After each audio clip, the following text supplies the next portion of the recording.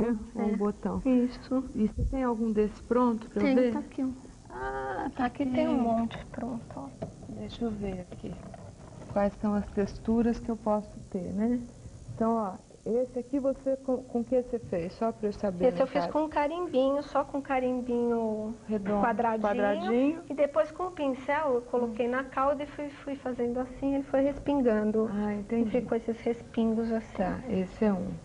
Esse aqui você colocou várias cores, igual você fez aquele ali. Isso, Você veio amarelo, ocra e marrom. isso. Esse eu usei todos os carimbos, eu fiz várias formas, Igual você fez ali. igual eu fiz ali. E olha que sensação gostosa, que bonito que fica, né? Olha esse colorido assim. Esse, Esse não aqui é, um- uma, é uma canga Tá, curtinha, né? Esse eu fiz bem colorido. Tá, e não é seda, é um Não, isso tecido- daqui é um crepe marroquino. Posso fazer em crepe Pode, também pode essa fazer, técnica. pode. Olha que linda essas cores. E esse é um echarpe Esse é um echarpe, que você fez também com vários carinhos. também vários carimbos. E depois que eu terminei aí, eu espero secar. Aí você deixa secar no bastidor dessa forma, Hum, até secar bem a cauda. tá. Depois que secar a cauda, qualquer pintura que a gente fizer agora essa semana toda, o método depois para cuidar da seda é esse, para tratar da seda. Você tem que passar, porque essa tinta, a fixação dela é a ferro, Sei. tá? Então você tem que passar a ferro na temperatura para seda, que o ferro indica. Mesmo com açúcar, coloca um tecidinho em cima, cima, e passa. passa. Porque se você lavar antes de passar, vai sair a tinta Entendi. tá? Depois você coloca numa água com amaciante, não precisa esfregar, porque senão racha a pintura. Hum, E nem precisa colocar sabão, nada. Coloca numa água com amaciante, deixa uns 5 minutinhos ali de molho, tira, não torce, estende Pendura. e passa ela ainda úmida, porque aí, Aí ela fixa mais ainda. ela Não, e ela estica melhor, né? Se você passar ela seca, ela não alisa, entendi. tá? Depois disso tá pronto, aí Tá eu vou pronto. poder usar, lavar, fazer aí Qualquer normal. coisa, aí normal, não, Não sai vai mais. sair mais. Não, de jeito nenhum. Maravilha! Doidei! Essa é só a primeira técnica dessa semana, que promete ser, ó, daquelas maravilhosas. Obrigada, Tchau, Mônica. obrigada, Ana. Até amanhã, Até então, amanhã, se Deus tá? quiser. E aí eu queria chamar você aí para acompanhar com a gente algumas imagens gravadas ontem no local do acidente com os mamonas assassinas, onde é, caiu o avião. É, e você é, vai ver uma reportagem da Patrícia aqui da nossa, da nosso, da nossa central de jornalismo. Vamos ver comigo. O avião que trazia a banda Mamonas Assassinas de Brasília caiu por volta das 11h30 da noite aqui na Serra da Cantareira, zona norte de São Paulo, de uma altitude de 1.200 metros. Com o choque, a aeronave ficou inteira despedaçada. As marcas da tragédia estão por toda a parte. Pedaços e mais pedaços de avião misturados entre as árvores. O avião perdeu o controle e veio de encontro a essas árvores que ficam aqui no topo da pedreira da Serra da Cantareira. Depois ele foi se arrastando, abrindo uma clareira por mais de 200 metros mata dentro. A operação de resgate começou por volta das 6 horas da manhã. O difícil acesso ao local do acidente atrapalhou muito o trabalho dos homens do Comando de Operações Especiais da Polícia Militar e Corpo de Bombeiros. Por volta das 10h30, os nove corpos das vítimas foram encontrados. Um por um, eles foram removidos da mata para esta área aberta da serra. Quando o senhor chegou lá, o que, que o senhor viu? Olha, vimos um... incrível, né? Mas coisa feia, entendeu? Nunca tinha visto até agora. E destroços, né, do, do avião, pedaços, né? Infelizmente, né? A gente vimos, tem que falar, pedaços de pessoas. E começamos a ajudar o grupo COI, né, fazer os resgates das, eh, das vítimas. Do jeito que estavam, não deu para reconhecer ninguém. Você era fã do Mamonas Assassinas? Sou, minha filhinha é, meu filho. Quer dizer, o choque foi grande quando você chegou lá em cima. Foi. Eu nem acreditava quando eu tava vendo. Quer dizer, não acreditei na hora, né? Mas eu saí do quartel e não acreditava que eu tava vindo, né, fazer o resgate dos mamonas assassinas, né? Roberto Maquieira, que era um dos seguranças da banda, ficou impressionado ao ver os corpos dos amigos. Roberto, tá dando para fazer o reconhecimento?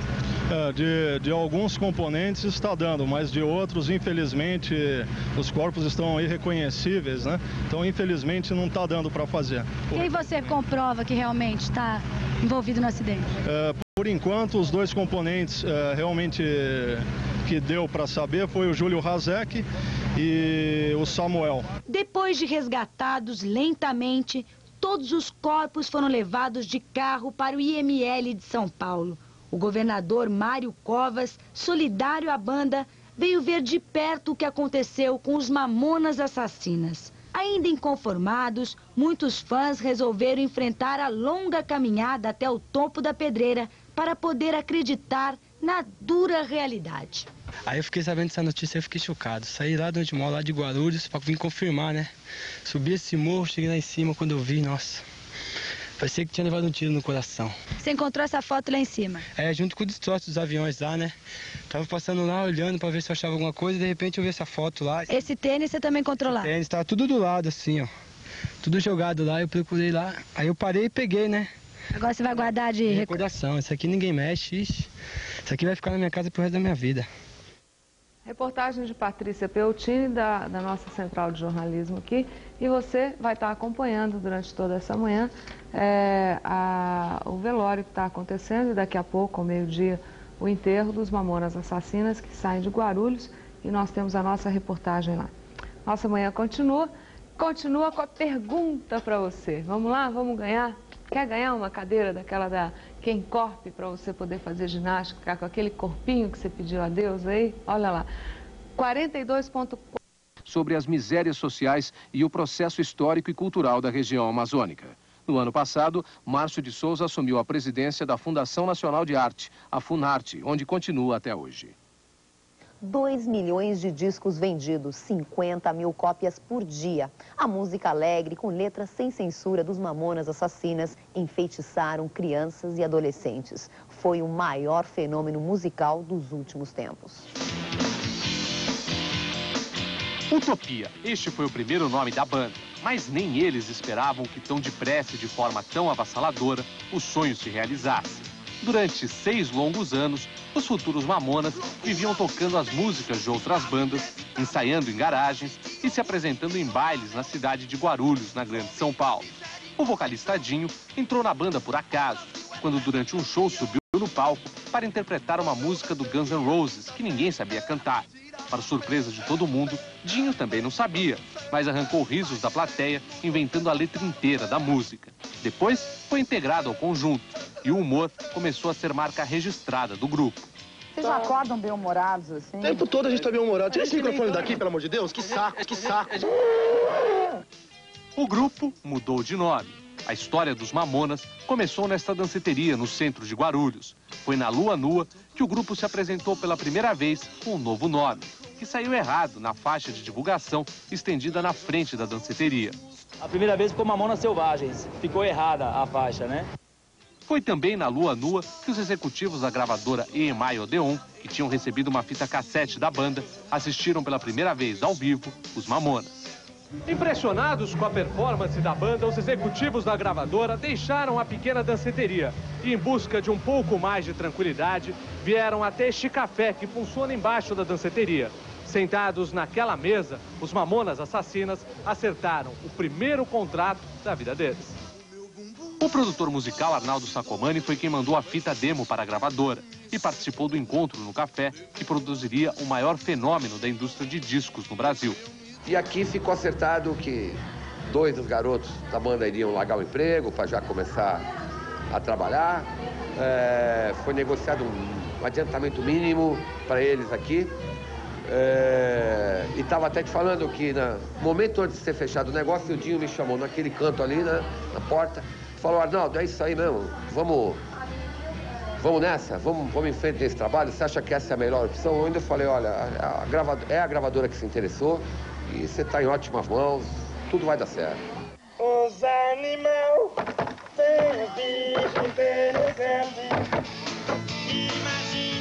Com jeito de garotões desencanados e com muito besterol, os cinco meninos arrebentaram. Em poucos meses, os Mamonas estouraram em todo o país, com os hits Sabão Cracrá, Pelados em Santos, Robocop Gay e Vira-Vira.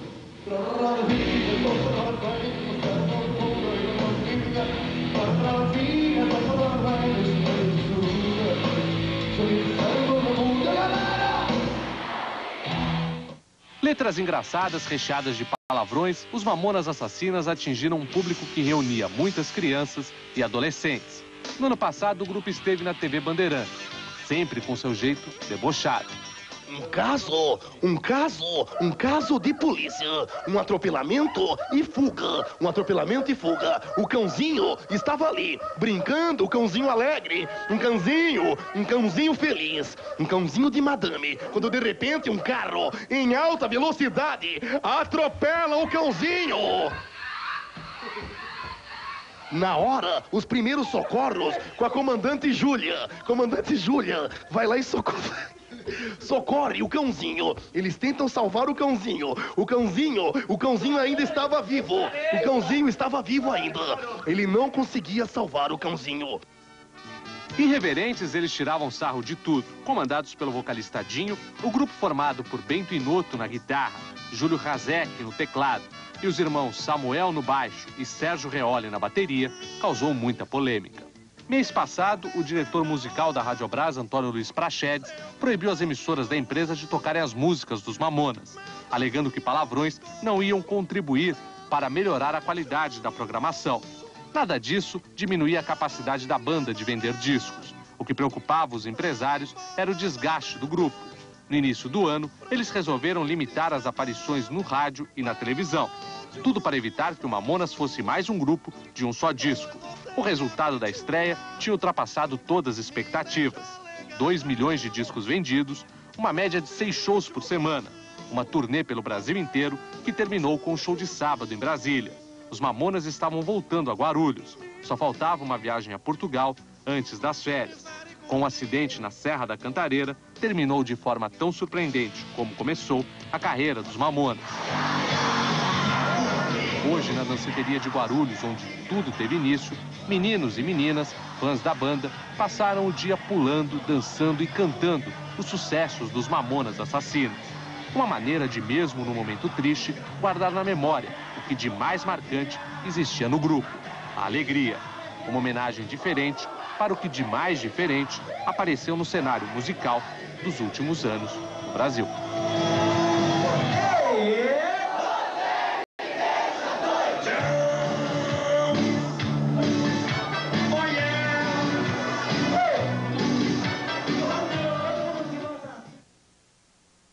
E nós voltamos a Guarulhos, na Grande São Paulo, onde milhares de fãs prestam a última homenagem aos Mamonas Assassinas. Luciana Liviero. A fila já é muito grande do lado de fora do ginásio. O velório, que começou ontem por volta da meia-noite e meia, deve acabar daqui a cerca de duas horas. O movimento é muito intenso, realmente a fila é constante. Os fãs não param de passar aqui em frente aos caixões. Nós voltaremos no decorrer da programação com novas informações sobre o velório e sobre o enterro dos integrantes da banda, que deve acontecer depois do meio-dia. Luciana Liviero, ao vivo para o dia a dia a biografia de um dos presidentes mais polêmicos dos Estados Unidos, responsável pela fabricação da primeira bomba atômica americana. Truman é destaque entre os lançamentos de vídeo que você confere com o crítico Celso Sabadin. Bom dia, Celso.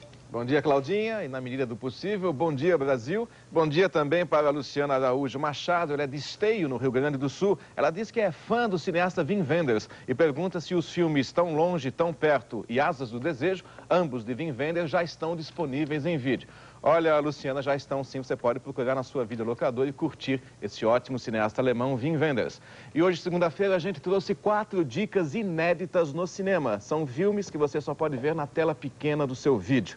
Começando com A Promessa. Falamos do alemão Wim Wenders, falamos agora da alemã Margaret von Trotta, que é e continua sendo uma das cineastas mais importantes da Alemanha. Ela estava meio sumida, mas com esse filme A Promessa, que está sendo lançado em vídeo agora, ela volta a ter um bom destaque no panorama mundial da cinematografia. Poderia ter utilizado. Então existe a obrigatoriedade de uma composição. Os produtos precisam ter uma origem para você saber não é, a quem responsabilizar no caso de um acidente de consumo. Tudo isso já é obrigação do fornecedor, do comerciante. Tem alguém que fiscaliza, por exemplo, eu vou fabricar alguma coisa, ou qualquer fabricante que está aí no mercado. Certo. Aí eu vou lá, você está dizendo, tem que ter uma composição escrito no uhum. rótulo do produto. Certo. Aí está lá escrito acetato de não sei o quê, uhum. vitamínico não sei uhum. o quê, e parará, parará. Alguém é do governo, e eu não vou mandar analisar aquele produto, né? Porque se cada certo. consumidor uhum. tivesse, uhum. soubesse primeiro onde é, uhum. né? Porque primeiro precisa saber onde é, que vai levar lá o objeto da análise para saber se tem aquilo que está dizendo no rótulo. Eu quero crer que tem alguém tem. no governo tem. ou na, na, saúde pública Exatamente, ou em algum lugar que antes desse produto chegar para venda foi lá e analisou se aquela composição está correta. Existe Perfeito, Existe. Isso é o Ministério da Saúde, ele faz isso. Em todos os, os, em os todos produtos. os produtos que são colocados no comércio, que seja produtos, suprimentos alimentares, alimentos, né? Algo que seja de consumo próprio né? do tá. indivíduo. Não que seja, por exemplo, é, uma cadeira, um móvel, não, realmente, aí sim, não faz é, não, sentido, aí você é está óbvio, vendo, né? é, tá. não, mas que tem algum tem, componente sim, químico. Tem sim, mas o que é importante é que essa competência do Ministério da Saúde de estar tá julgando os elementos químicos, é, o que existe, se o dado da rotulagem está correto ou não, é uma competência dele e nada exclui a nossa. Se nós formos no estabelecimento e verificarmos que existe um produto que não tem a composição, Ora, esse produto não vai estar colocando em risco a saúde do consumidor? Vai, porque vai estar tá colocando. Então a competência é nossa. Nós o que vamos que precisa aprender ter aquele produto. Para eu ficar alerta como consumidor. Tá. Quando eu vou comprar um produto, quando eu vejo um produto ou recebo um produto, que hoje é muito comum vendas pelo uhum. telefone. Certo. Quer dizer, como é que, eu tenho que olhar e analisar nesse produto? Olha, esse produto ele deve conter a quantidade, a qualidade, as características que envolvem aquele produto tem que haver o preço, tem que haver a origem, o fabricante, não é? E tudo isso em língua portuguesa e redigida de uma maneira clara, correta, ostensiva. Ostensiva por quê? Porque o consumidor ele precisa encontrar isso com facilidade. Ele não pode perder muito tempo procurando, ele tem que ser bem ostensivo. Ser claro. Claro é precisão. Ser, essa informação precisa ser precisa, objetiva. Tá. Eu não preciso de ter um grande conhecimento técnico para saber o que, que ele está dizendo. Óbvio, se, se é a, a, nível de composição, é admissível a utilização, por exemplo, do nome científico e das propriedades químicas daquele produto. Entendi. Então a gente falou de duas coisas aqui. Você tinha mais. Agora só vamos nomear, porque não vai dar tempo da gente tratar de tudo aqui, que eu sei que é extenso. Tá. Mas além disso, é, quais são as outras reclamações frequentes? Eu te parei no meio do caminho. Isso, aí eu ia falar da publicidade. Sim. Da publicidade enganosa. O código ele proíbe dois tipos de publicidade. Uma, a enganosa, e a outra, a abusiva. A enganosa é aquela que engana o consumidor, o próprio nome já diz faz com que aquele fornecedor ele tenha inúmeras obrigações e a principal delas é não enganar o consumidor. A abusiva é quando ele veicula uma publicidade e essa publicidade ofende o cidadão quando, por exemplo, apresenta um elemento de discriminação racial, quando, por exemplo, abusa do julgamento da criança, da deficiência de julgamento da criança. Hoje em dia, legalmente, eu não preciso dizer, eu não preciso avaliar se a criança tem ou não. Hoje em dia eu tenho reconhecido que a criança ela tem uma deficiência de julgamento, não é? E que atente ainda sobre outros valores, como por exemplo, que incite a violência, que incite o medo. Essa é abusiva. Eu, e queria a outra deixar é esse capítulo para a gente tratar semana que vem. Podemos falar só de publicidade? Podemos. Na próxima semana? Podemos, Ana. Então tá bom. Obrigada, doutor Ricardo. Um bom dia para o senhor. Obrigado. E até a semana que vem, então. Tá bom? e transportá-los transportá para mais um show. Dinho, vocalista do conjunto, brinca com a morte. E a gente vai ver esse VT agora. Vamos lá. Avião quase caiu. Hoje vai ser uma aventura. Esse avião quase caiu na selva amazônica porque quebrou o radar. Tem uma boa e uma má notícia para você que vai voar com a gente, cameraman. Qual que você quer primeiro? A você boa... é o Dinho dos Mamona? Eu era. Oi? A boa é que eles consertaram o radar. Quebrou de novo. ah. E o combustível não tá passando lá do reservatório para o tanque. Quebrou de novo? e o chiclete aí, O avião quebra o radar e eles dão mousse de maracujá para deixar a gente calminho. Brincadeiras de um povo legal, bonito, um grupo inteligente e engraçado, não é não? Agora a gente vai ter algumas imagens lá de Guarulhos. Nós estamos com a nossa equipe diretamente em link aqui com o nosso programa e o repórter é José Donizete. Muito bem, Ana Maria, e as pessoas continuam chegando aqui para o velório dos integrantes da banda Mamonas Assassinas. A gente já viu muitas personalidades passando por aqui. Há pouco esteve aqui o, lutador Maguila, também prestando sua homenagem, sua solidariedade à família dos músicos que integravam o conjunto Mamonas Assassinas e também aos dois integrantes da produção que estão sendo velados juntos aqui. Aqui no cemitério Jardim Primavera de Guarulhos serão enterrados Dinho, o Bento, o Sérgio Samuel, o Júlio e também o Sérgio Saturnino, que era segurança do grupo. Só o corpo de Isaac Souto é que será levado para Jundiaí, onde ele morava, para ser enterrado lá. Os corpos, os caixões serão transportados em dois carros do Corpo de Bombeiros, os que vão levar os, os corpos dos músicos da Mamonas Assassinas até o cemitério Jardim Primavera, aqui mesmo em Guarulhos. Há pouco a gente conversou também com o pai do Dinho, o senhor Idebrando Alves o pai do Dinho, o senhor Idelbrando Alves, que reclamava também do excesso de trabalho dos grupos. Nesse momento ele, ele atende outros colegas de imprensa e ele, logicamente, muito abatido, muito emocionado com a perda do filho, mas também é, muito lúcido, falando que sempre criticou esse excesso de viagens, a falta de segurança até que existia, que os meninos tinham muita energia para trabalhar, tudo, mas que reclamavam, às vezes, das condições em que eram obrigados a trabalhar. Ele não quis fazer nenhuma crítica direta aos empresários, o que não aconteceu com uma outra pessoa ligada à família, o Geraldo Celestino, que hoje é vereador aqui e está funcionando aqui nessa cerimônia como um porta-voz da família. Ele disse que a família pensa, depois de, de, do enterro, depois que passar por todo esse momento doloroso, pensa em tomar as providências. Não sabe ainda se vai acionar a empresa aérea ou é, deve ter também uma conversa com os empresários, mas por enquanto a preocupação deles é com o enterro, é, ter essa última homenagem aos filhos.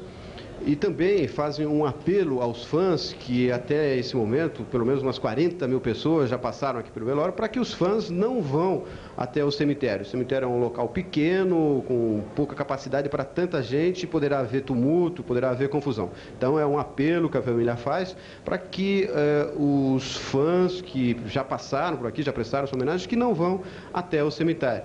Eles aproveitam também para agradecer toda essa solidariedade né? Eles, eles estão preferindo também não conversar diretamente com a imprensa. Só o pai do Dinho é que se propôs a falar agora há pouco. Ana Maria. Ok, Donizete, muito obrigada pela sua participação e o Note a Note está aberto aqui para qualquer, a qualquer momento você poder, se tiver alguém com quem você esteja conversando e que você acha que o nosso público gostaria de participar, junto com você aí que está perto das imagens, o nosso programa está aberto a você.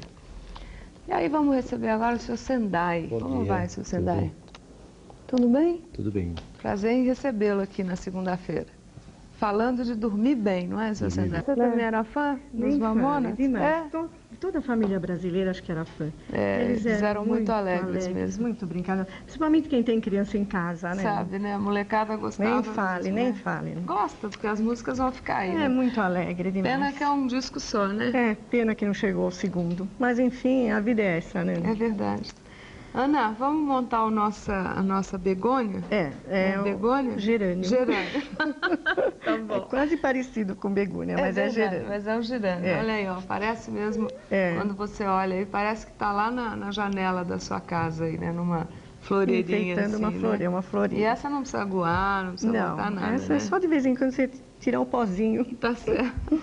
Conta pra mim. Ó, semana passada nós fizemos, para você que acompanhou com a Ana Modunho, nós fizemos a flor, os, os como chama os isso? Botõezinhos, os botõezinhos, né? um botão Esse, meio é, aberto. Eu não cheguei a fazer, mas ele é quase igual, é só fechar mais um pouquinho. É quase igual a flor, É. não é? É, a- é o mesmo formato É o mesmo cortador, só que fechado um pouquinho mais, né? Entendi. Olha aí, aí você tem um, um botão semi-aberto, Semi-aberto. Né? A florzinha aberta, por que, que você separou? Eu já deixei mais ou menos em buquezinhos, né? Tá. Que nós vamos e a fazer. folha e nós as não, folhas. não mostramos. É, nós não mostramos a folha, eu mostrei ela já pronta, né? Isso. É aquele sistema que a gente corta, né? Coloca o arame na frente com a Pode cola. ser até a, a folha do próprio gerânio, Do né? próprio- Que eu tire da natureza e, e imprima aqui, olha, porque o gerânio tem atrás dele aquelas nesgas. É, ele que tem vão- uma nervura diferente, bem marcante. Não é? Posso imprimir Pode aqui. imprimir no mesmo, Entendi. próprio gerânio. E o araminho é colocado na frente. Ah, é Você na- coloca na frente e puxa. Ah, olha, gente, como é. Né? Você- Aqui estaria liso, né? Hum. Aí a Ana colocou o arame aqui e cobriu o arame. O olha. arame. Que ele fica, tá vendo? Ele fica escondidinho, tanto de um lado quanto do outro, né? E já serve para marcar a nervurinha, né? É. E ele foi pintado com o verde Bessier. Tá. Simples, né? Uma, a tinta um pouquinho pura, né? Vamos montar então? Bom, agora nós vamos montar aqui o arame, Ana Maria. Ah. Nós temos esse arame como guia. Esse, que arame vai servir é de esse guia. arame? Ele é arame número 18, Tá. é galvanizado. Nós temos também aqui essa fita de papel crepom, que agora existe com essa colinha. Você não precisa se preocupar mais em comprar aquele papel crepom, que ele rasga muito. Então, este não. Este ele é bem resistente, né? Tá, se eu não tiver, eu posso Pode, fazer pode usar aquele mesmo, né? E vou passando cola. E vai passando a cola, aí você já não precisa. Então aqui nós vamos, em primeiro lugar, virar a pontinha do arame, sempre tem que ser virada essa pontinha do arame, formando um ganchinho. Tá. Então aqui nós vamos deixar de lado. Deixa eu mostrar para minha amiga ali que não veio de pertinho. A Ana virou, fez um, fez um ganchinho aí, né? Tá aí, ó, o arame. Bom, então agora nós vamos começar pelo buquezinho. Então, nós vamos colocar mais ou menos uns quatro ou cinco logo de início, né? Então com a fita. Ah, nós vamos essa- fazer o buquê. É, vamos fazer os buquezinhos. De, de... É, já deixar todos os buquezinhos preparados para depois co- colocarmos no arame. Então aqui a gente já vai fazer, primeiro, sempre os mais fechadinhos, que eles vão ficar na parte de cima. Tá. Agora, esse buquezinho que aparece em cima, ele é sempre um pouquinho menor. Hum. Porque os maiores vão ficando sempre na parte de baixo, né? Então nós vamos colocar no meio. Vai mesclar então. É, uns fechadinhos Com outros abertos. com outros abertos, misturado. De preferência que ele fique no centro, os fechadinhos, Tá. né? Colocamos aqui. E eu faço o buquezinho do tamanho que eu quero. É, começando sempre pelo menorzinho, Tá. né, Aninha? Sempre pelo menor. Pelo menor o que que você O tá buquezinho menor em cima, na Ah, parte tá. de cima. Com menos Com flores. menos flores. E aqui já foi feito um pequeno. E aí você envolve e junta todas as... É, deixamos ele aqui, de lado, né? Tá. Se quiséssemos fazer mais, um a gente faria mais ou menos desse tamanho.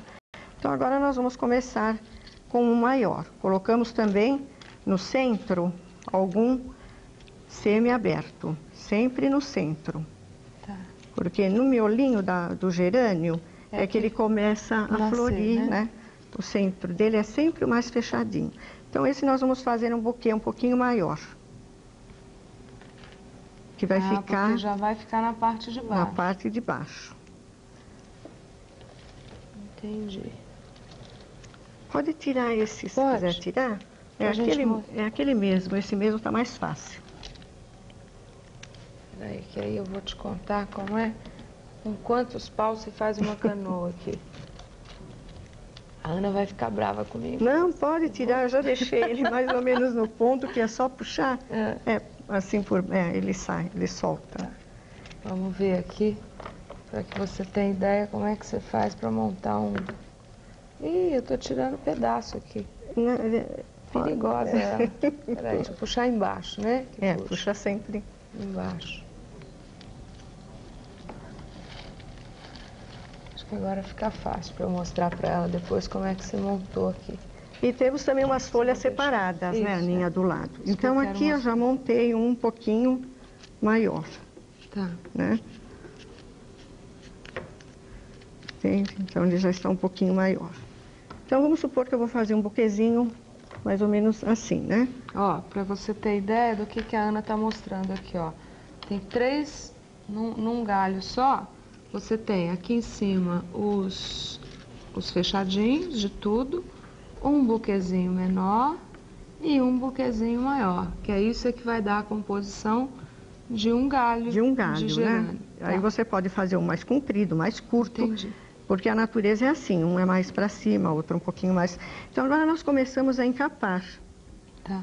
E colocamos a primeira folha Ah, você põe lá em cima. é, já. em cima aqui, olha, por trás o arame, Por trás, para esconder para esconder, e já colocamos a primeira A ponta do é, arame a fica na do folha. fica bem atrás da folha. Hum. Aí eu vou descendo um pouquinho e coloco uma outra para cá. E continuo encapando. Entendi. Coloco outra aqui. Porque é bem o jeito da natureza É mesmo. o jeito do gerânio mesmo. Você olha o gerânio na natureza e vê como E é que vai acompanhando. faz para poder... Bom, aqui nós já colocamos Três. três. né? Aqui eu desço mais um pouquinho e já coloco este. primeiro. Este galinho. O bem, o fechadinho. É, o bem fechadinho. Desço mais um pouquinho. Coloco mais umas duas folhas um pouquinho maior. Coloco Ah, uma. porque as folhas também você faz de três tamanhos. É, três tamanhos, elas vão uma aumentando. menorzinha, uma média e uma grande. É, agora uma outra aqui, né? Então elas vão aumentando. Ah, porque o gerânio tem bastante verde. Tem né? muita folha. Agora nós já podemos colocar O esse médio. médio, Tá. Né? Já colocamos o médio. Mais as folhas. Colocamos mais umas duas ou três folhas. Um pouquinho maior, você vê que Sei. essa ainda é um pouco maior. É, então o ideal é você ter três tamanhos de Três folhas. tamanhos né, de Ana? folhas, Para poder ficar bem parecido mesmo. bem com o natural. E agora aqui nós descemos mais um pouquinho. Você pode também esticar o arame. O arame Hum. Claro. pode ser mais. Posso emendar um emendar outro pedaço um outro pedaço. E aqui nós colocamos o. Inclusive você pode até acompanhar com esse mesmo, porque vai depender do que você, do arranjo que você for a Continuar floreira, né? fazendo, né? Continuar, né? Então aqui você já coloca esse terceiro buquê, Entendi. né? Você vai emendando o Vai arame do jeito emendando que ela do fez jeito ali, que, que você vai precisando colocar no seu arranjo. Ah, entendi. E pode terminar também com algumas folhas na parte de baixo também. Quer dizer, ficou Né? bem grande, né? Esse, Esse ficou um galho bem grande. galhão, ó. Né? Ó que bonito. E esse arranjo não é só para floreira, serve para qualquer Para coisa, vaso, né? né? Para você fazer um, um- se você quiser fazer uma composição de um Uhum. arranjo também com outras flores, né? Olha, deixa eu contar para você, para essa, para essa jardineira aqui, quanto, como é que a Ana montou, ó. Para que você possa ter ideia aí na sua casa. Ela colocou um, dois, três, quatro, cinco, seis, seis aqui atrás, só com, só com folhas, ó. Tá vendo a diferença? É, aí já nós colocamos o arame, a Isso. mesma coisa, Só só, as só as folhas, folhas, né? Então ela botou seis aqui atrás, de vários formatos, só com folha, colocou um aqui embaixo e só. Aí depois ela veio com, com pequenos, ó, um, dois, três, quatro. Quatro só com o buquê de baixo, tá vendo? Esse aqui já não, não tô contando, ó. Um, dois, três, quatro, só com o buquê de baixo. Aí ela começou com esse menorzinho aqui, aí esse aqui tava aqui, porque eu guardei onde tava. que eu fiz agora. Deu conseguir você montar. perceber, né? É. Esse estava aqui, ó. Aí ela foi pondo os maiores aqui atrás. Não é? Ó, É. outro aqui e outro aqui. Então, na verdade, desse grande, ela fez três. Não foi isso? Ana? Justamente, três. Então, três grandes, quatro pequenos, um médio e oito, quatro, cinco, seis desses só com folha. Só folhas. E aí embaixo ela colocou argila. Argila. Com um pouco de pra- musgo. É, nós colocamos aquele musgo para arrematar, né? Para ficar um arremate. E pronto, tá pronto o seu arranjo. Tá bom? aí, Ficou Esse é tão pra bonito. você. Ah, obrigada. obrigada, Tá. Ana. Tá. Um bom dia. Um bom dia para você também. Obrigada por Tá, ter obrigada. Tá? E vamos aqui brincar. Vamos ao nosso comercial e voltamos já com você. que era um certo tipo, presta atenção, de cana que cresceram lá naquela época às margens do rio Nilo. Você sabe onde é que ficava? Fica ainda, porque o rio Nilo não mudou de endereço. Onde é que fica o rio Nilo? Pois é, hoje em dia o papel mais, pensa um bocadinho, Índia ou França está mais perto do rio Nilo? O papel mais consumido hoje é o papel jornal. E o papel de parede tem seu grande destaque agora nas decorações, né, nos estabelecimentos comerciais, condomínios com fotos de paisagem, fazendo assim com que as pessoas até viajem através da fotografia, não, é não? Através de uma bela foto no papel de parede, você pode, às vezes, estar dentro de um consultório, é tudo fechadinho, mas você consegue viajar, né? Através da imagem. É assim, a imaginação é fértil. 2242 é o número catalão. Nunca tinha sorteado catalão. A misturar a farinha de trigo Dona Benta com fermento. É o suficiente para crescer, ficar fofinho, gostoso. Nós já temos um, um assado e a Aparecida está tentando cortar ainda quente. Eu recomendo que se, que se corte ele frio, mas tivemos que pegar a mandioca de manhã, viemos para cá, então tudo se faz aqui.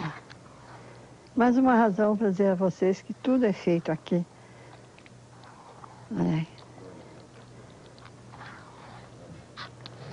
Você já tem a Está bem untada, Aparecida? Tem que ser fartamente untada. Olha.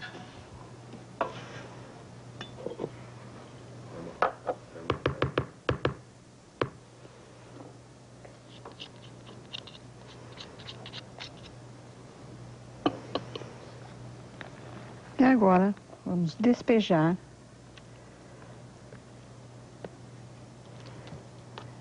em uma assadeira Pode ser até um pouco maior que essa, viu? Lembre-se que a mandioca tem que ser pesada um quilo sem a casca.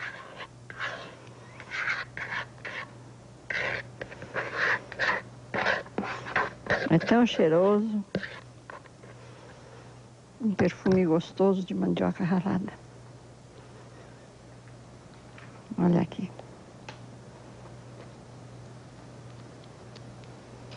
Deu certinho as quantidades que, que falamos para vocês.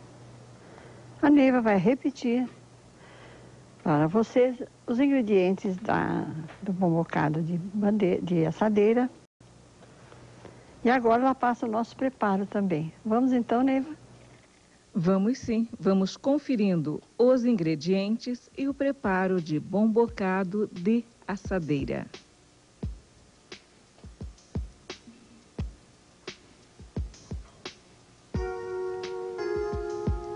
1 quilo de mandioca sem casca.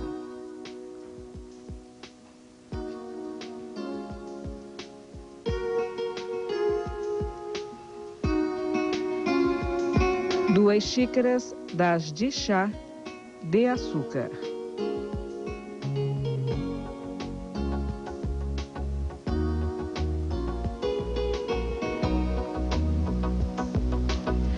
Duzentos gramas de coco ralado.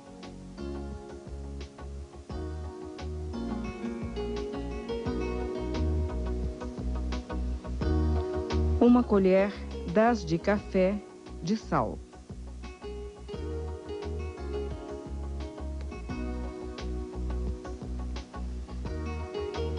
Cem gramas de margarina.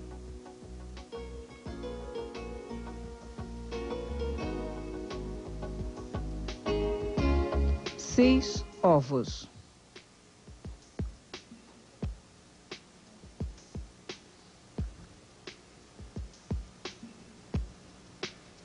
Uma lata de leite condensado.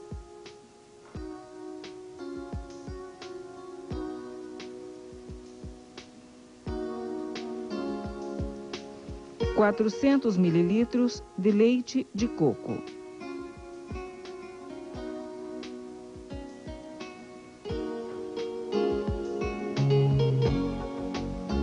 Uma xícara das de chá de farinha de trigo com fermento.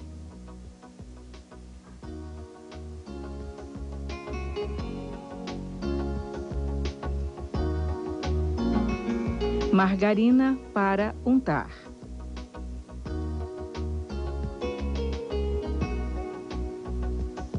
Preparo.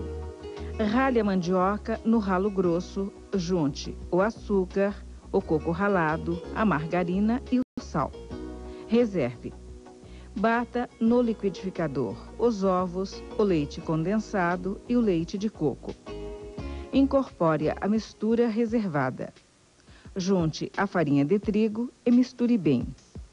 Unte uma assadeira com margarina, despeje a massa e leve ao forno para assar por 30 minutos.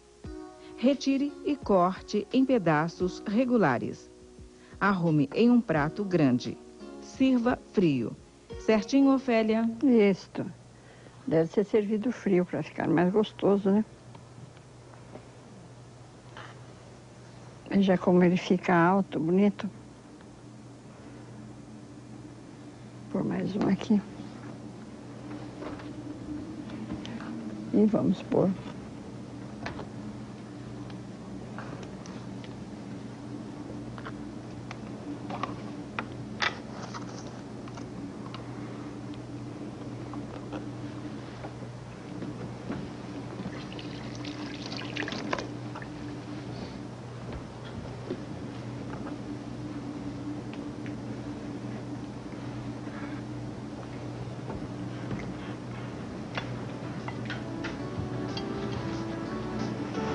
Podemos passar mesa?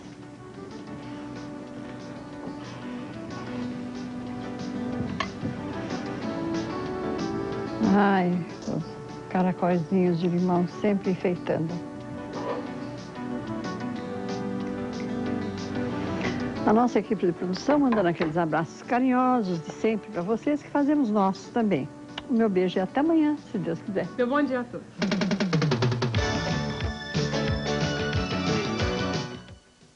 Açúcar da Barra.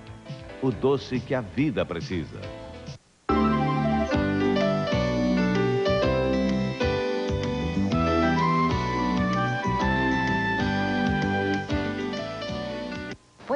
Bom dia.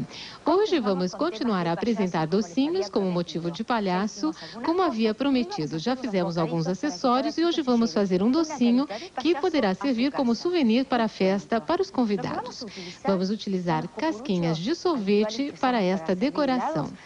Neste caso, tenho que cortar a pontinha desta casquinha para ficar bem redonda e poder calçar bem na cabecinha do palhacinho que vamos fazer. Para que os docinhos fiquem mais gostosos, vamos rechear as casquinhas de sorvete com doce de leite.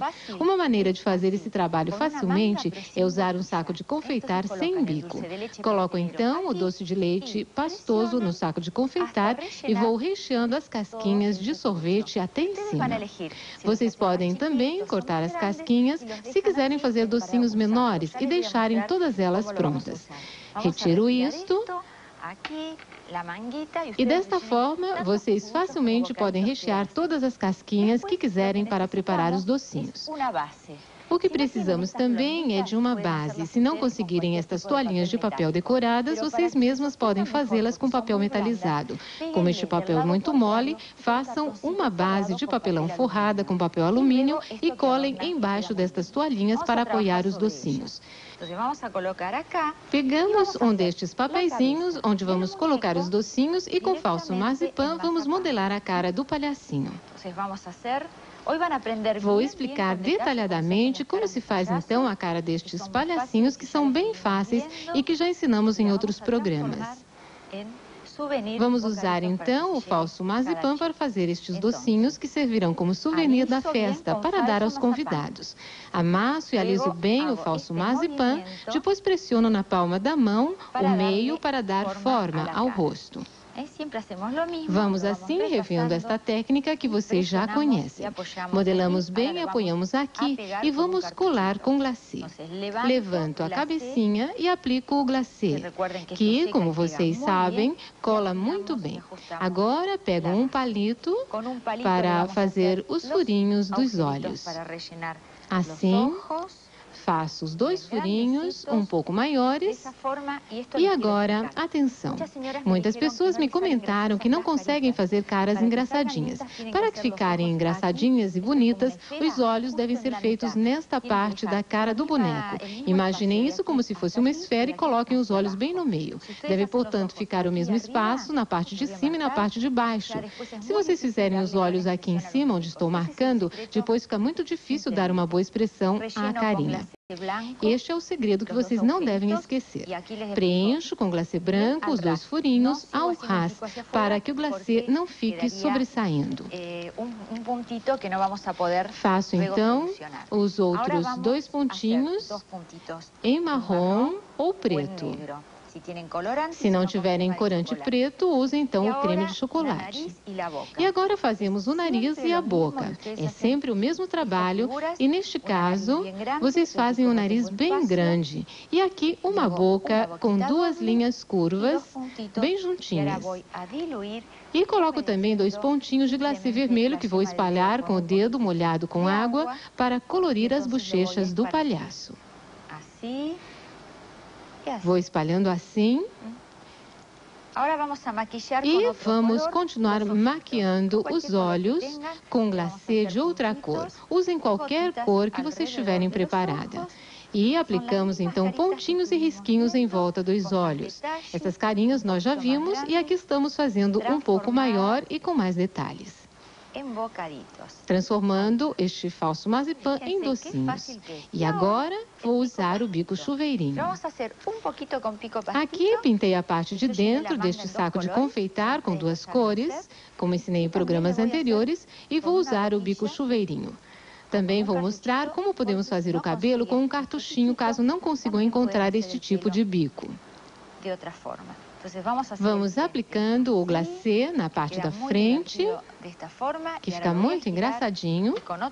Viro o bonequinho e aqui atrás vou usar um cartuchinho com outra cor. Se vocês quiserem, então, podem ir aplicando gotinhas de glacê sobrepostas para ir fazendo e formando o cabelo. Desta forma, vocês já têm mais uma opção para realizar estes trabalhos. Vocês não devem se limitar a usar somente um elemento. Devem procurar utilizar as coisas coisas que tenham à mão para realizar os trabalhos. E se vocês ainda não conseguem confeccionar um cartuchinho, podem também usar qualquer bico pitanga para fazer esta parte do boneco. Depois que cobriram então toda a cabeça, Retoquem com glacê, aplicando mais um pouco onde vocês acham que devem, para que o cabelo fique bem levantadinho.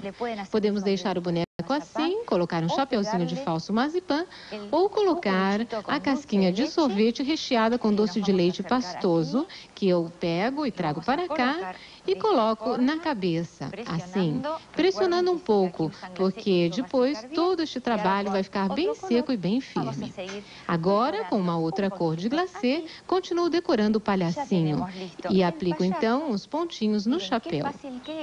Como vocês puderam ver, é um trabalho bem fácil. Vamos ver todos eles juntos. E vejam que linda esta bandeja cheia de palhacinhos feitos de falso marzipan e que servirá também como souvenir da festa para cada um dos convidados. Aí temos os chapeuzinhos feitos com casquinha de sorvete recheada com doce de leite pastoso e também os cabelinhos feitos com bico chuveirinho ou mesmo com os cartuchinhos uh, cortados com uma ponta mais fininha ou mais grossa como vocês quiserem.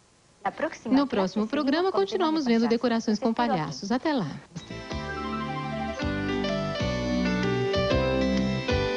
Leite gelado, gelado. Tá, olha lá, endurece o chocolate, ele fica flocado. Tá ok? Tá ok. Isso aqui vai hum. sobre o rocambole, que pode ser o da Fátima Giancone. E aí eu vou colocar, esse aí você colocou com, com recheio de chocolate, esse, esse aqui, não, esse aqui está com recheio de framboesa, hum. que é para é, chegar mais ao paladar das uvas. Entendi. Tá? Posso botar recheio de uva também, também já que eu estou fazendo de uva. Claro, aí vai ficar... Agora, por exemplo, se eu faço aquele, aquele rocambole que hum. eu vi hoje de manhã, hum eu vou colocar o recheio de laranja, ponho o chocolate, aí misturo aqui a laranja nesse aqui, é isso? Você vai misturar uva hoje? Vou misturar uva. Ela vai descascar muito bem descascado a, a uva hoje. A, a, laranja. Se for laranja. Se for laranja, tirar as pelinhas, vai cortar hum. e colocar misturado aqui. Tá bom? Que é o que você vai fazer agora. Que é o que eu vou fazer agora. Então, eu já distribuo o chantilly. Olha, quase que num local só. Aqui, então, vai ficar uma camadinha mais mole. Pode se reservar um pouquinho para fazer a decoração. Já coloco sempre deixando só a fruta. O, o, que ela soltou de aguinha, vocês não deixem ir para o chantilly, não. Ah, Vamos misturar. Aí você está usando o quê? Meio quilo de uva? Olha, nem, nem isso. Nem né? isso. Bem menos. Meio quilo vai entre tudo, decoração, prato, né? Sei. Então, deixo assim para dar uma afundadinha, olha. E aí por cima a gente joga. Se ela não vai desenformar, hum. então ela deve depois jogar decorando aqui em cima as frutinhas. Gente, tá? que horror. Ainda bem que durante a semana tem a Silvana que vem aqui me dar a receita diet. Com essa doceira de hoje de manhã, ó, já no café pois da é. manhã, aquele E hoje tudo rocambole, hein? Olha só, ela olha, vai poder até comparar. Vou até agora, ó, cortar um pedaço. Ai, que coisa. Vou cortar grande aqui, senão eu não consigo tirar, viu? Isso. Não precisa ficar preocupado que eu não vou comer tudo. Eu é que estou preocupada. Ó, espera lá. Aqui. Aqui. Olha aqui. Gostou? Gostou? Gostou? Ó, que lindo. Vamos, um, dois e... Hum.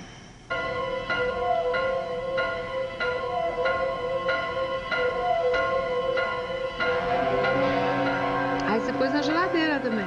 Pus, pus no freezer. Ah, no freezer?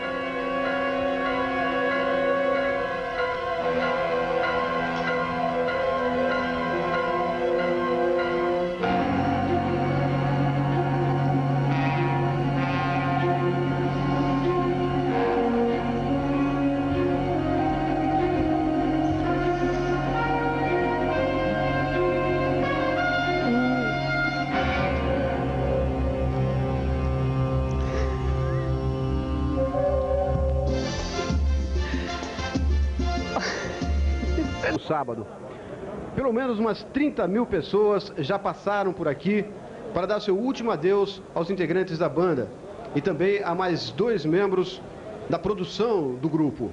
As pessoas passam rapidamente numa fila aqui, tem pouco tempo para prestar essa homenagem, mas se sentem um pouco aliviadas também em ter dado esse último adeus aos ídolos que nos últimos meses aí é, é, conseguiram ganhar o coração, o coração de quase todo o país. Principalmente o coração das crianças. A gente percebe muitas crianças, algumas de colo trazidas pelas mães, vêm até aqui com a fita na cabeça, com o nome dos Mamonas, com, moda, com o nome do Dinho, que era o, o vocalista, o líder do grupo e um dos mais queridos.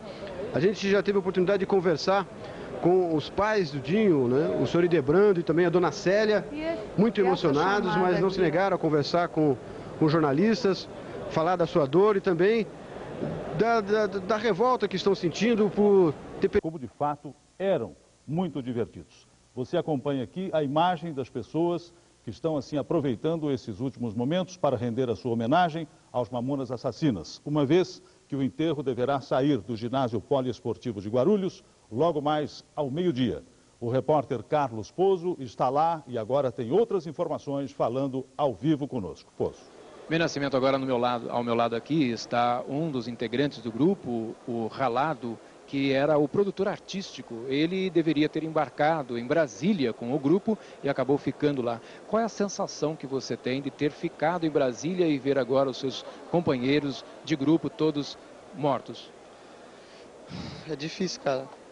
Difícil porque eles eram pessoas muito boas, transmitia muita alegria pessoal. E é difícil de entender o que aconteceu, porque é, é sem explicação, né? Sem explicação. Como é que eles estavam antes de embarcar lá em Brasília com você? A gente sempre fez os shows sempre contente, a gente nunca fez um. A gente sempre estava contente, sempre brincando e no.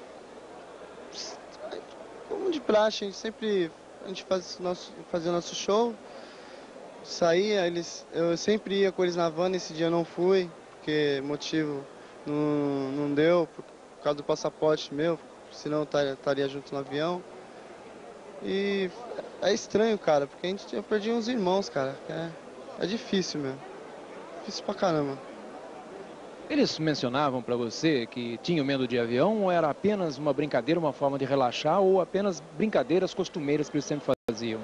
Nós fazemos muitas, muitas brincadeiras e o medo de avião, a gente, acho que todo mundo tem medo de avião, não tem um que não tenha. E a gente, acho que a gente, a gente brincava porque sabia o dia de amanhã, né, meu? A gente brincava mesmo. A gente, acho que até para relaxar, a gente brincava ali, ah, esse negócio vai cair, não sei o que e tal, mas era tudo brincadeira. Como a gente sempre brincou, acho que é tudo brincadeira. E agora você fica olhando para esse momento de tristeza aqui, você se lembra das brincadeiras dele, como é que fica essa, esses sentimentos contraditórios em você? Eu lembro muita coisa, cara. Lembro muita coisa. Mas a gente tem que levar a bola para frente, né, meu? Vai um soldado, mas a guerra continua, né? Vamos ver. Vamos levar. Tá certo. Esse daqui então é o Ralado, que é o produtor artístico do grupo Mamonas Assassinas, que não embarcou em Brasília junto com o grupo. Ele deveria ter embarcado e acabou ficando lá e acabou salvando a vida. Carlos Pozo, de Guarulhos.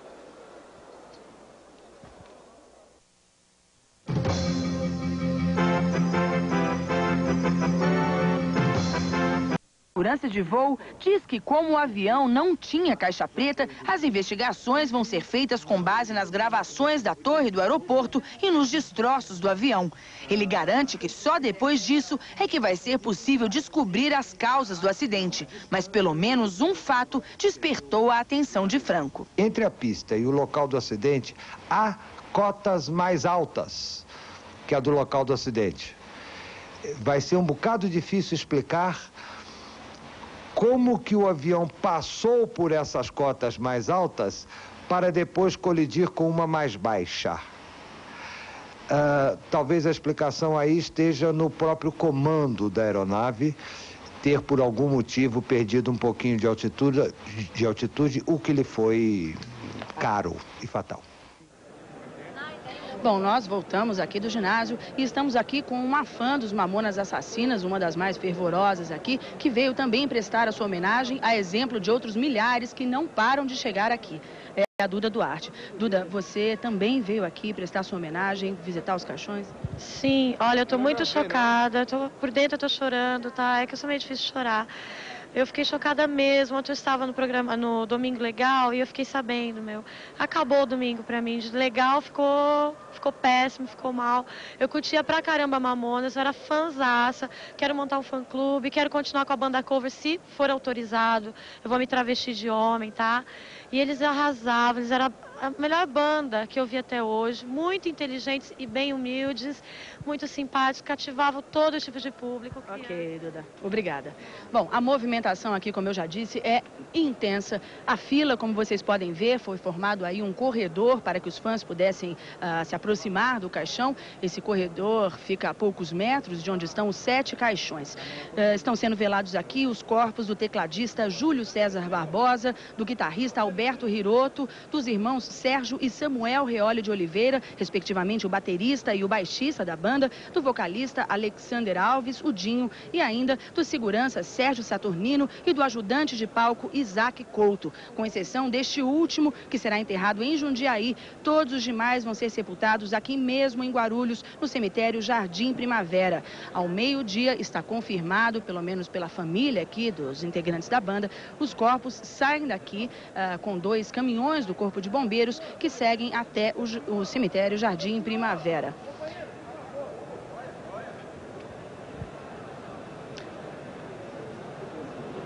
A família está bastante chocada, obviamente, com tudo o que aconteceu.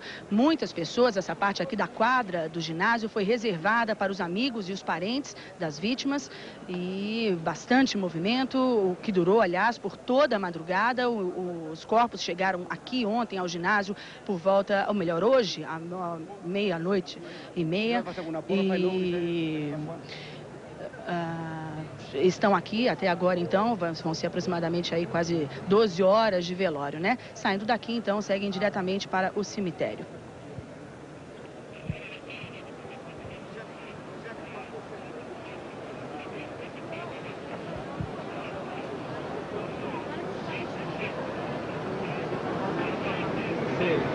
Aí eu fui da, família, acabei ficando lá no alto da serra vi o resgate. Bem,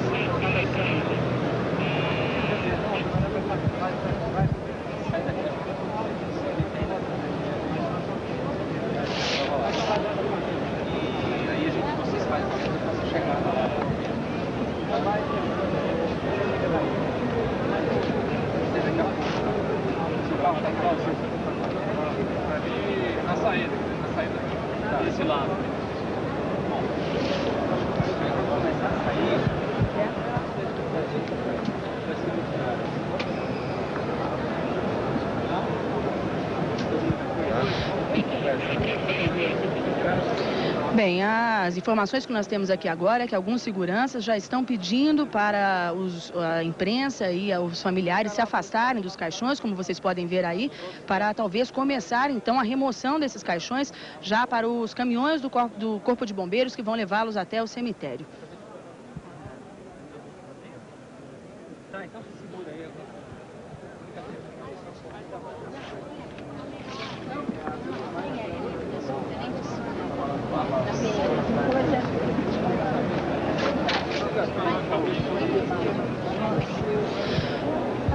A fila aqui, como nós já dissemos, o corredor aqui, é, o movimento é constante, não para. Vocês podem ver que vários fãs usam faixas na cabeça com os nomes dos integrantes, camisetas, realmente uma maneira aí de tentar homenagear uh, os integrantes do grupo Mamonas Assassinas, que foram realmente um fenômeno neste último ano em todo o país. Outro detalhe que chama muita atenção aqui é a grande quantidade de coroas de flores, são quase 60 que chegaram aqui ao ginásio para o velório. Muitas pessoas passam pela fila emocionados, não conseguem conter o choro. Uh, crianças, adultos, velhos, realmente dá para perceber que os Mamonas, uh, os fãs do Mamonas não tinham uma idade fixa, não era uma faixa etária fixa. Uh, realmente todo mundo gostava, um grupo muito irreverente, extrovertido, alegre e talvez por isso tenha alcançado todo o sucesso aí que alcançou.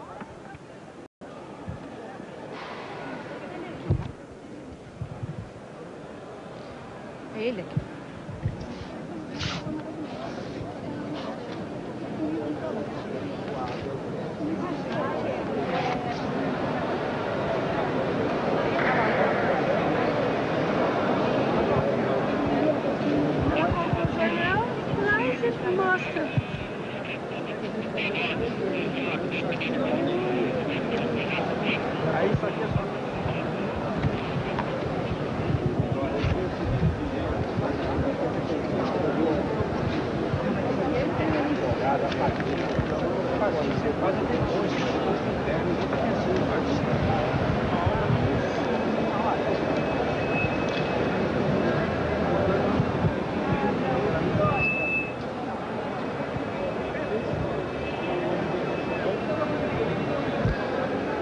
Bom, pela ordem aqui dos caixões, uh, partindo aí uh, de baixo do vídeo para cima do vídeo, nós temos primeiro o caixão do Isaac Souto, que era o segurança da banda.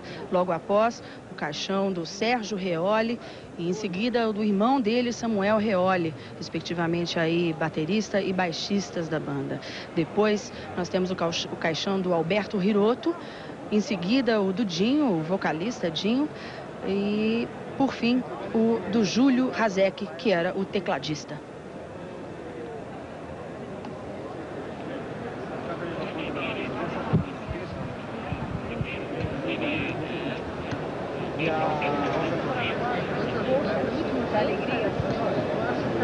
Esse acidente que aconteceu era o grande temor da família, uh, das famílias, aliás, de todos os integrantes da banda.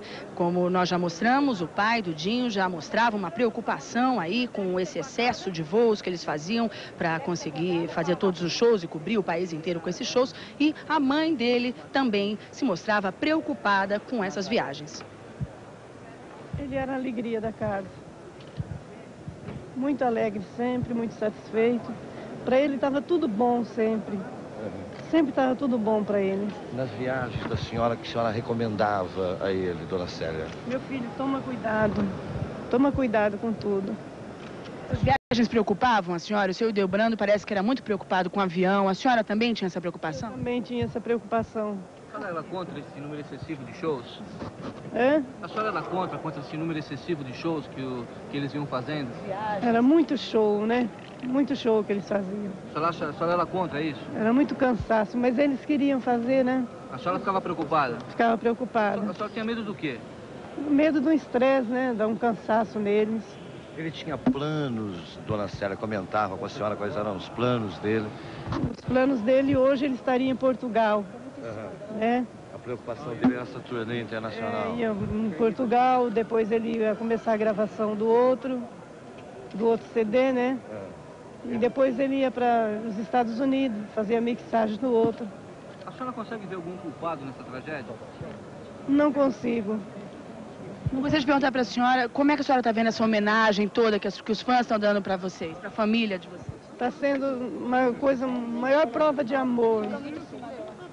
É uma prova de amor muito grande. Ok, nós estamos aqui com o capitão Frank, que vai nos contar como vai ser o esquema aí de retirada desses caixões. Qual, como vai funcionar isso? Por onde esses caixões devem sair? Olha, deve, pela nossa previsão, uh, devido a, ao porte das viaturas do Corpo de Bombeiros, será feito pelo fundo do ginásio aqui. Então nós deveremos iniciar é, dentro de alguns minutos a evacuação aqui da quadra de esportes e posteriormente o, o, transporte dos caixões até a viatura do bombeiro. Os portões, então, para o público já vão ser fechados daqui a pouco. Não adianta mais vir para cá. É, a gente sugere e solicita que a população não mais compareça, que já estão sendo providências, tomadas providências justamente para encerrar a visitação. Agora eles vão sair em quantos carros de bombeiros? Pela previsão do capitão Monteiro, que está organizando é, esse transporte, serão duas viaturas do bombeiro e tem uma de reserva. Se for necessário, serão três viaturas. E com relação ao cortejo até o cemitério, qual a preocupação de vocês com relação à segurança para que não haja nenhum problema aí nesse trajeto, que parece que é de aproximadamente um quilômetro? Todas as providências já foram tomadas, o setor de trânsito de Guarulhos já está interditando as, as ruas é, secundárias, né? E já tem também um pessoal no cemitério que, por solicitação da família, também é, a, o cemitério só vai ser aberto, no caso, liberado somente para os familiares e pessoas que eles autorizarem. Obrigada. Bom, vamos acompanhar agora o grande sucesso da banda Mamonas Assassinas. Utopia. Este foi o primeiro nome da banda, mas nem eles esperavam que tão depressa e de forma tão avassaladora o sonho se realizasse. Durante seis longos anos, os futuros Mamonas viviam tocando as músicas de outras bandas, ensaiando em garagens e se apresentando em bailes na cidade de Guarulhos, na Grande São Paulo. O vocalista Dinho entrou na banda por acaso, quando durante um show subiu no palco para interpretar uma música do Guns N' Roses que ninguém sabia cantar. Para surpresa de todo mundo, Dinho também não sabia, mas arrancou risos da plateia inventando a letra inteira da música. Depois foi integrado ao conjunto e o humor começou a ser marca registrada do grupo. Vocês acordam bem-humorados, assim? O tempo todo a gente tá bem-humorado. Tira esse microfone daqui, pelo amor de Deus. Que saco, que saco. O grupo mudou de nome. A história dos Mamonas começou nesta danceteria no centro de Guarulhos. Foi na Lua Nua que o grupo se apresentou pela primeira vez com um novo nome, que saiu errado na faixa de divulgação estendida na frente da danceteria. A primeira vez ficou Mamonas Selvagens. Ficou errada a faixa, né? Foi também na Lua Nua que os executivos da gravadora EMI Odeon, que tinham recebido uma fita cassete da banda, assistiram pela primeira vez ao vivo os Mamonas. Impressionados com a performance da banda, os executivos da gravadora deixaram a pequena danceteria e, em busca de um pouco mais de tranquilidade, vieram até este café que funciona embaixo da danceteria. Sentados naquela mesa, os mamonas assassinas acertaram o primeiro contrato da vida deles. O produtor musical Arnaldo Sacomani foi quem mandou a fita demo para a gravadora e participou do encontro no café que produziria o maior fenômeno da indústria de discos no Brasil. E aqui ficou acertado que dois dos garotos da banda iriam largar o emprego para já começar a trabalhar. É, foi negociado um adiantamento mínimo para eles aqui. É, e estava até te falando que no momento antes de ser fechado o negócio, o Dinho me chamou naquele canto ali, né, na porta, falou, Arnaldo, é isso aí mesmo, vamos, vamos nessa, vamos, vamos em frente nesse trabalho, você acha que essa é a melhor opção? Eu ainda falei, olha, a gravadora, é a gravadora que se interessou e você está em ótimas mãos, tudo vai dar certo. Os animais,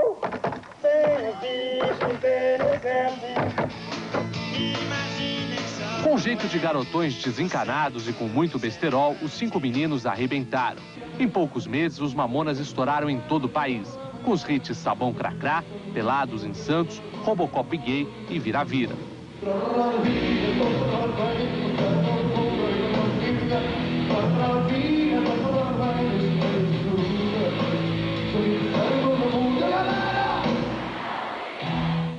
Letras engraçadas, recheadas de palavrões, os Mamonas Assassinas atingiram um público que reunia muitas crianças e adolescentes.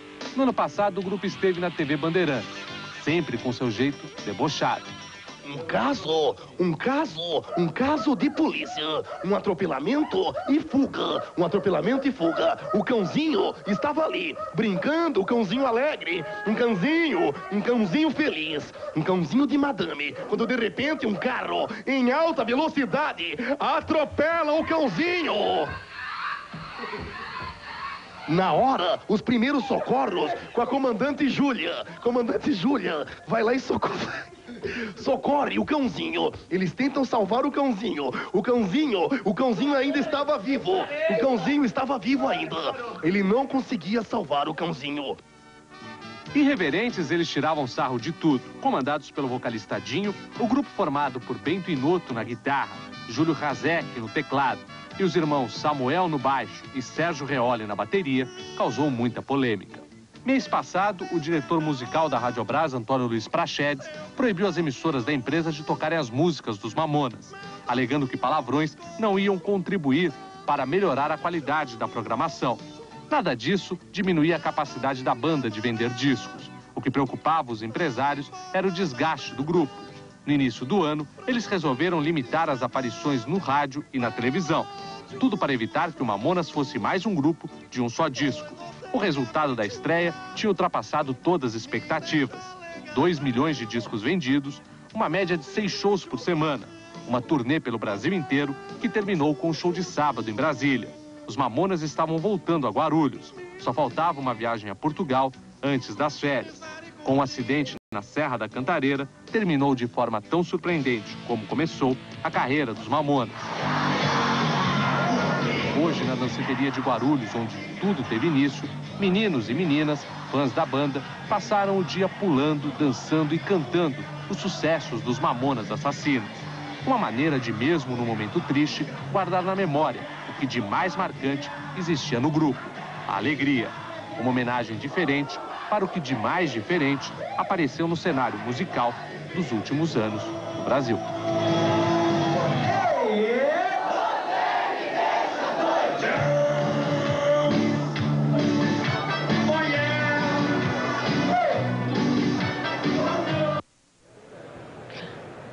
Bom, os fãs continuam passando aqui pelo ginásio Pascoal Tomeu, uh, mas já há informações aí de que existem muitas pessoas do lado de fora do ginásio e que não vão poder entrar porque aqui na quadra, vocês também podem perceber, os policiais já estão retirando todas as pessoas, parentes, amigos e imprensa que estão aqui na quadra para então começar aí o processo de retirada desses caixões e uh, o encaminhamento deles até o cemitério Jardim Primavera, onde serão enterrados.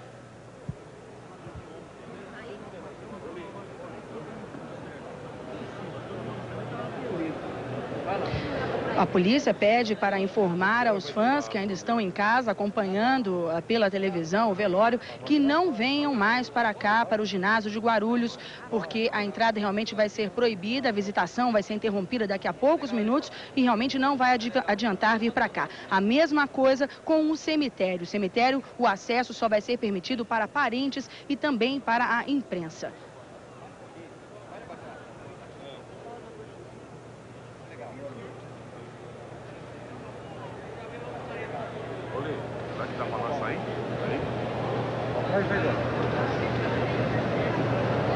Isso tá bom.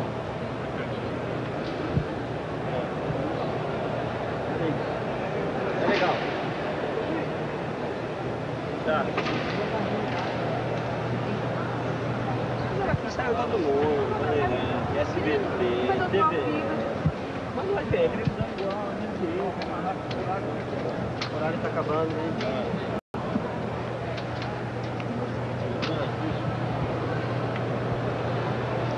Realmente agora, então, a quadra já fica praticamente vazia. Uh, todos os parentes já devem estar a caminho aí do cemitério ou aguardando então o cortejo. Eles estão aos fundos de, do ginásio e aguardando então aí a movimentação agora dos policiais que vão retirar os caixões daqui. Os sete caixões, aliás, com exceção de um caixão, o do Isaac Souto, que era o segurança da banda, que será enterrado em Jundiaí. Todos os outros vão ser enterrados aqui mesmo em Guarulhos, no cemitério Jardim Primavera.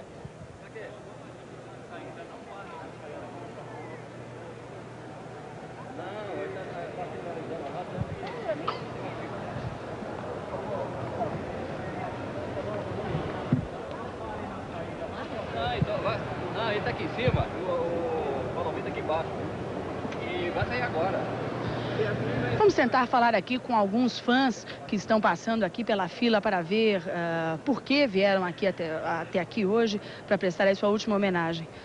Vamos conversar aqui com esse pessoal. Você era fã do Mamonas Assassinas? Sim. É daqui de Guarulhos mesmo? Daqui de Guarulhos. E aí, não poderia deixar de vir aqui hoje para se despedir da banda? É, tinha que vir, né? Não podia faltar. Obrigada. É, realmente o nosso trabalho aqui agora fica um pouco complicado. Seguranças pedem para que nós saiamos aqui da quadra. Uh, eles realmente querem evacuar a área para poder começar a retirada dos caixões.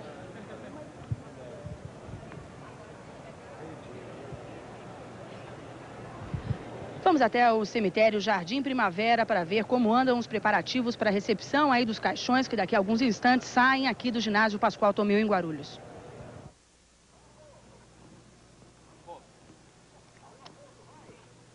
Nós estamos transmitindo ao vivo aqui do cemitério Primavera Zoom, em Guarulhos. Neste momento, na porta do cemitério, cerca de 800 pessoas estão cantando músicas dos Mamonas Assassinas. Eles não podem entrar aqui dentro, vão ficar apenas profissionais da imprensa, jornalistas, parentes dos mortos. Os corpos de Alberto, Dinho, Júlio César e dos irmãos Sérgio e Samuel e também do Sérgio Saturnino, segurança do grupo, vão ser enterrados aqui. É quadra 8, quadra 8, túmulos 21 e 23, que foram cedidos pela direção, pelos proprietários do cemitério, aos familiares do conjunto Mamonas Assassinas.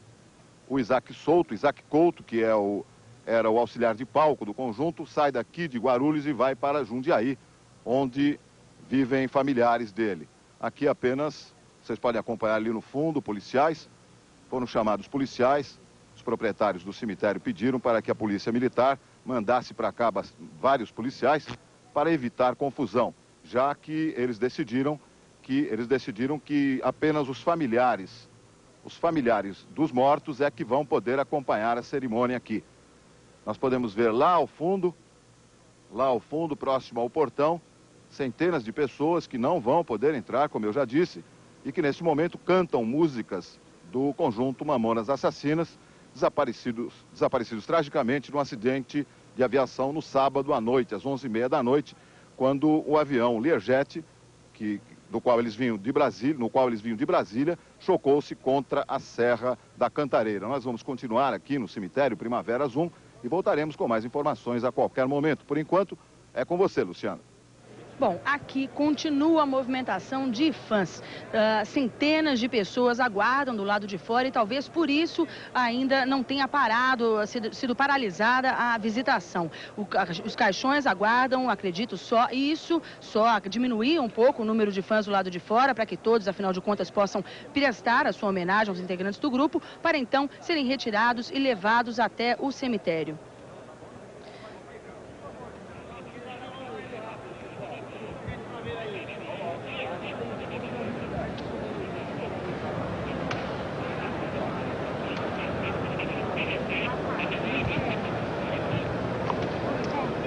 Hoje, excepcionalmente, você não pôde acompanhar o capítulo da novela Meu Pé de Laranja Lima, mas que será reapresentado amanhã na íntegra no mesmo horário.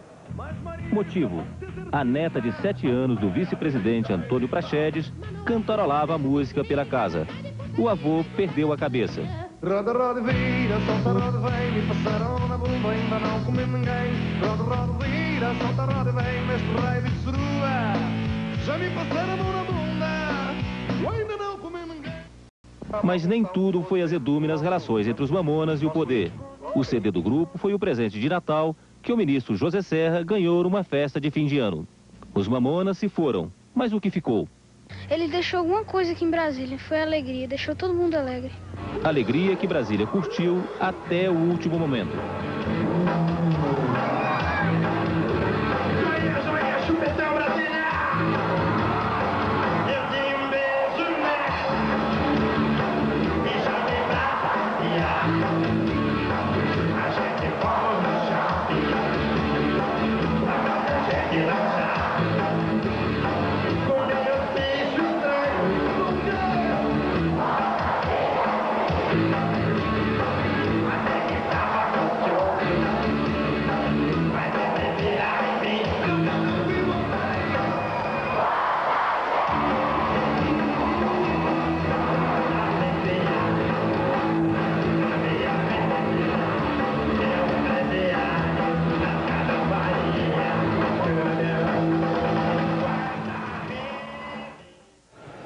Continua intenso movimento aqui no ginásio Pascoal Tomeu, ginásio de esportes de Guarulhos, onde estão sendo velados os corpos dos integrantes do Mamonas Assassinas. Uh, o primeiro caixão que você pode ver aí de embaixo do seu vídeo é o do Isaac Souto, que era segurança da banda. Em seguida vem o, ca o caixão do Sérgio Reoli, logo depois ao lado dele o caixão do irmão Samuel Reoli. Em seguida, o caixão do Alberto Riroto, depois, o do Alexandre Alves, o Dinho, vocalista da banda. Em seguida, do Sérgio Saturnino Porto, que era um ajudante de palco, que também viajava no avião.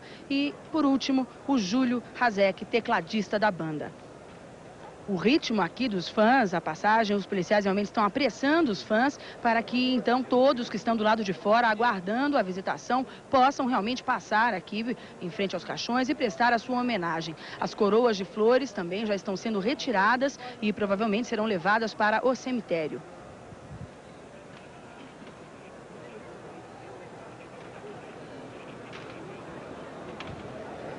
Como a gente pode ver, o caixão do Dinho, eh, existe uma grande coroa de flor em cima dele. Uh, realmente era o, maior ídolo da banda, uh, das fãs. E realmente é um caixão aí onde percebeu-se durante todo o velório que houve a maior atenção, o maior número de pessoas em volta desse caixão. É, além da bandeira da cidade de Guarulhos, da bandeira brasileira, também colocaram sobre o caixão do Dinho um, a camisa do time do Corinthians, para o qual ele torcia. E o apresentador Gugu Liberato.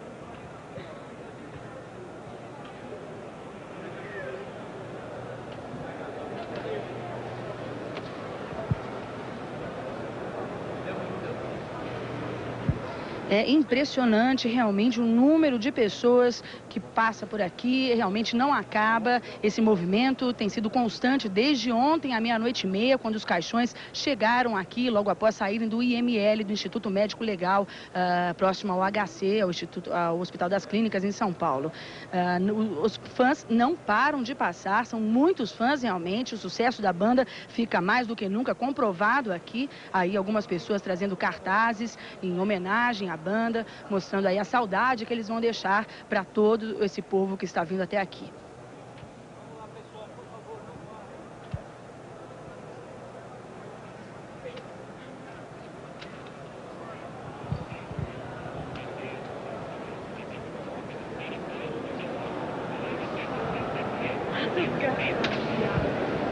Bom, as, as, investigações sobre o acidente que aconteceu às 11h30 da noite de sábado começaram logo hoje de manhã.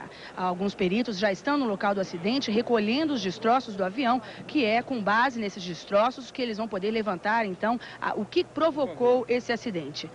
O repórter Sérgio Gabriel tem mais informações. Em 90 dias, sai o laudo definitivo sobre as causas do acidente aéreo onde morreram os integrantes do conjunto Mamonas Assassinas. As investigações estão sendo feitas pela Aeronáutica. A comissão que cuida do caso já chegou à conclusão de que, pelo menos em quatro momentos, o piloto da aeronave agiu fora dos padrões normais. Isto pode ter sido a principal causa da queda do avião. Houve a aproximação foi feita de uma maneira incomum, numa velocidade acima do normal? Isso, isso é um fato, é, foi divulgado através de press release já que a aeronave se deslocava na trajetória um pouco à esquerda, um pouco mais alto, que um pouco maior de velocidade do que o normal. A que velocidade ele chegou na pista para aterrizar e qual seria a velocidade normal? É, segundo dados, ele chegou até 200 nós, isso equivale a dizer em torno de 300 e poucos quilômetros por hora. Normalmente uma velocidade adequada seria na faixa de 125, 124 nós, 200 km por hora. E a posição dele também estava um pouco à esquerda, é isso? Derivava um pouquinho à esquerda no momento da aproximação final. Qual seria o procedimento normal depois da, da remetida? Nessa situação, é curva pela direita, setor sul, sobrevoando a, a, a Via Dutra. Por quê? Porque ali não tem morro, a situação de relevo é adequada, exatamente por isso que se evita a curva à esquerda. Por que, que ele fez a curva para a esquerda? É outro porquê que a gente precisa investigar. É, isso a gente não tem dados de o que, que afetou, o que, que afetou o raciocínio do piloto para ele operar daquela maneira. Isso aí vai ter tudo investigado. Bom, ah, essa camiseta do Corinthians que está sobre o caixão, do Dinho uh, está com os autógrafos de todos os integrantes do time que também quiseram prestar a sua homenagem e aos, ao integrante do grupo, ao vocalista do grupo e a, a todos os outros componentes da banda.